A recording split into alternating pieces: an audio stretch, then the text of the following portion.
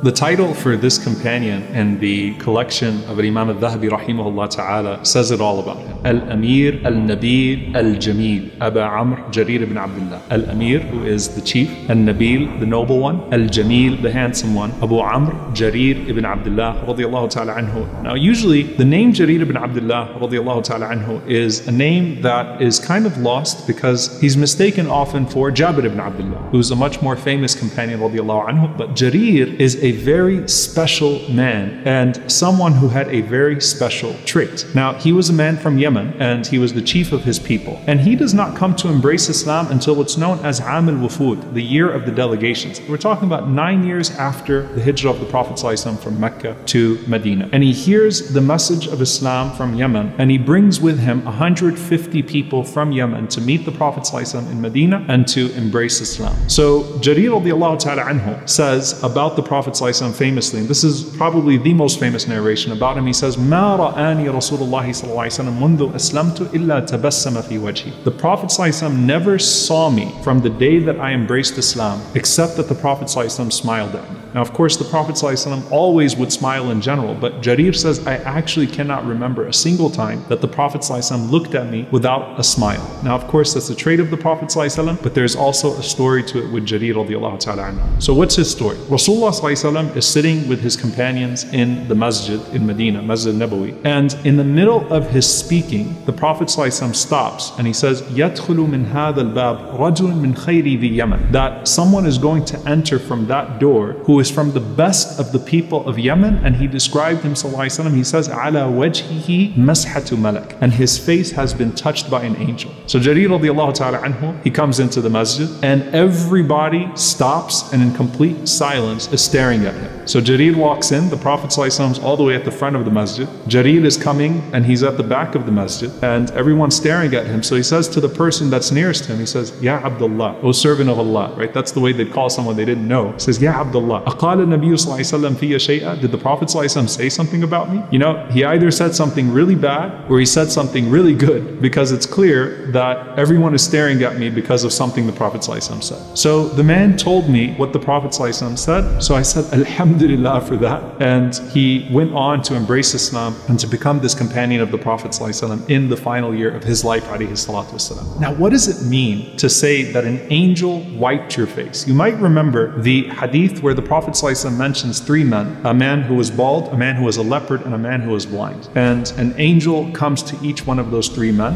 and gives them all a different set of rizq, a different set of sustenance. But in the process of that, when the angel wipes the head of the bald man, the man has hair now. When the angel wipes the eyes of the blind man, the blind man can now see. And when the angel wiped the skin of the leper, the leper no longer had leprosy. So the ulama say that in the case of Jarir ta'ala anhu, an angel wiped his face in such a way that there was no defect, it just beautified him tremendously. He had an extreme beauty to him radiallahu ta'ala anhu. And so anywhere he went, he attracted attention to himself because of the wiping of that angel on his face. And Allah subhanahu wa ta'ala knew what he was giving to this companion of the Prophet. Some of the narrations, he says, I told the Prophet one time that I had a hard time keeping stable on my horse. He's the chief of his people, and he would go out in battle, and he said, I'm having a hard time staying on my horse. He said, the Prophet ﷺ struck my chest, and he said, Allahumma thabbithu waj'alhu hadiyan mahdiya. He said, Oh Allah, keep him firm, meaning on his horse, and make him one who is guided and who others are guided through. So subhanAllah, the dua of the Prophet ﷺ for a person is always better than what they seek from the Messenger ﷺ. And he says, Wallahi, I never fell off of my horse again after that dua of the Prophet ﷺ. What was his nickname? Umar ibn al-Khattab radiallahu ta'ala anhu called him Yusufu hadihi al-ummah, the Yusuf of this ummah. And Umar radiallahu ta'ala anhu praised praised him, he said, Ni'ma Sayyid kunta fil jahiliyyah wa ni'ma Sayyid fil Islam. What a great chief of your people you were in the days of ignorance, and what a great chief of your people you are in Islam. Now, we don't find much from Jarir radiallahu ta'ala anhu in terms of interactions with the Prophet